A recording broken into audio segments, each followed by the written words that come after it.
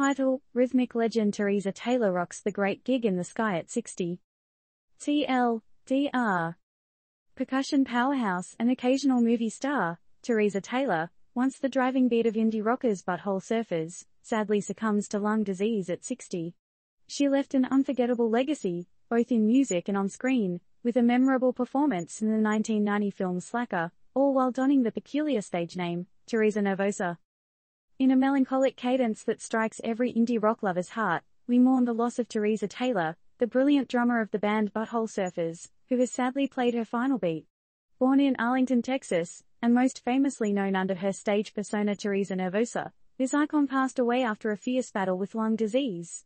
Her rhythm, though, will resonate eternally in the heartbeats of her fans and bandmates. Taylor's percussive prowess began in her high school marching band, where she drummed side by side with King Coffey. The duo later teamed up to land Butthole Surfers its unique sonic fingerprint. Their synchronized, standing up performances provided a distinct spectacle that helped to shape the early sound and style of the band. Talk about setting the stage on fire, huh? However, this rhythmic roadshow faced an unfortunate halt when Taylor suffered seizures triggered by a brain aneurysm. She left the band in 1989, eventually undergoing brain surgery in 1993. But like any true rock star, she made a comeback for some tour dates in 2009, reminding us all that rock and roll never dies. On a different note, pun absolutely intended, who can forget her noteworthy performance in the 1990 film Slacker?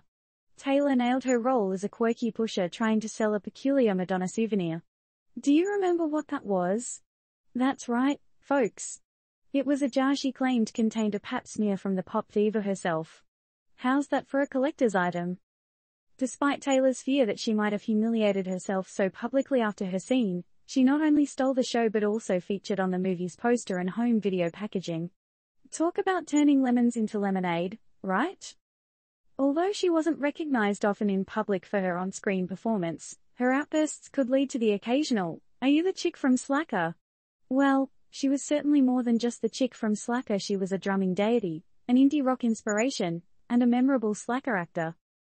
As we bid farewell to this remarkable artist, we're left with a pressing question, in a world dominated by auto-tuned pop hits and mainstream melodies, how will we keep the spirit of raw, real, and revolutionary music, like that of Teresa Taylor's, alive? What do you think, folks? How can we ensure that the unique beat of indie rock continues to pound powerfully in the face of music's ongoing evolution?